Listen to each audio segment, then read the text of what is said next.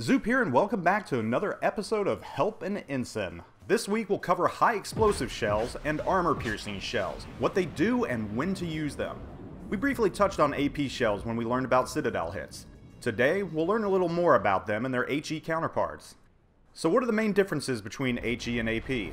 That's easy enough. HE shells are designed for explosive power while AP shells are designed to penetrate thick armor.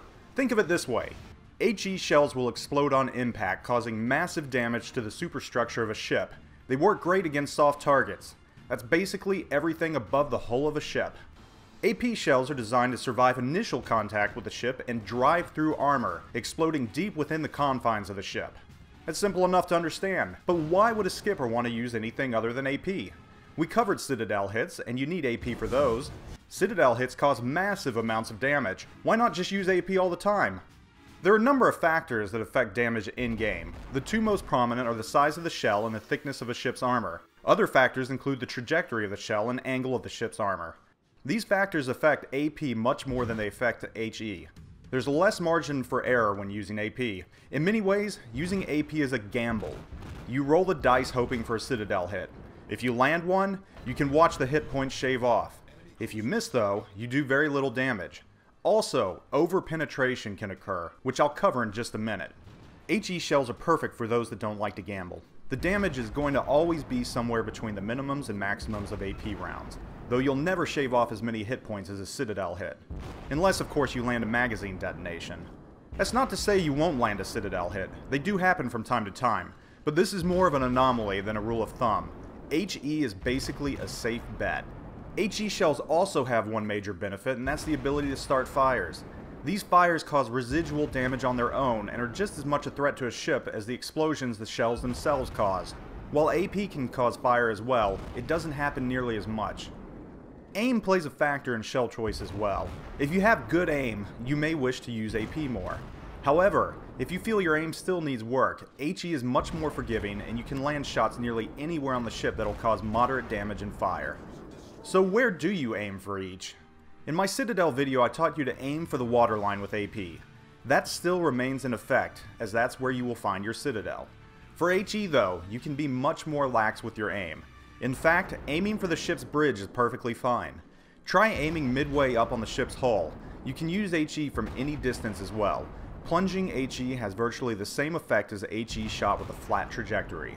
Every ship you play as and against requires a different strategy in how you use HE and AP. Let's quickly go through them. Destroyers carry AP, but I'm telling you not to bother using it if you're playing as one. 5-inch guns will do little to penetrate armor on larger cruisers and battleships. Your best bet is using HE in attempts to keep the enemy lit on fire. Conversely, if you're attacking a DD, never use AP. The reason for this is over penetration, which I mentioned earlier. Look at this graphic for an example. This is what the flight path of an AP shell from a battleship or cruiser would look like during overpenetration. See that it passes right through the destroyer. The shell is just too large and the armor on the DD is just too thin. AP is designed to penetrate thick armor, stop, and explode within. This won't happen. Your AP shell flies right through and as a result damage is minimal. Instead, by using HE, your round will explode on contact, which is devastating for a DD. In fact, larger cruisers and battleships can possibly one-shot a destroyer with good enough aim and a bit of luck. Cruisers are a mixed bag and your choice of shell is tougher. The rule of thumb with them is to use HE against both destroyers and battleships. Again, the HE will light the battleships on fire. You might get lucky using AP against a battleship if your cruiser has a larger caliber, and you could land a Citadel shot, but it's not worth the risk when they can have half your hit points in one salvo. Put it on fire and let them scramble to douse the flames. If you're a cruiser attacking another cruiser, use AP from 8 to 9 kilometers out. That gives that nice flat angle perfect for penetration and citadel hits. Further out, use HE. The benefit with cruisers is you can switch from AP to HE quickly if you need to. Lastly, we have battleships. If you're playing as one, when the round starts, immediately switch to AP and don't bother switching back to HE. Seriously though, You've got the biggest shells in the game. You should always be going for the kill. No matter what, a 16 inch shell is going to cause massive damage even if you don't get a Citadel hit. The only exception to the rule is once again destroyers. If you must face one head to head and close in, use HE to take it out and to avoid overpenetration. So there you have it. Are these rules definitive? No. Other exceptions to the rule will occur.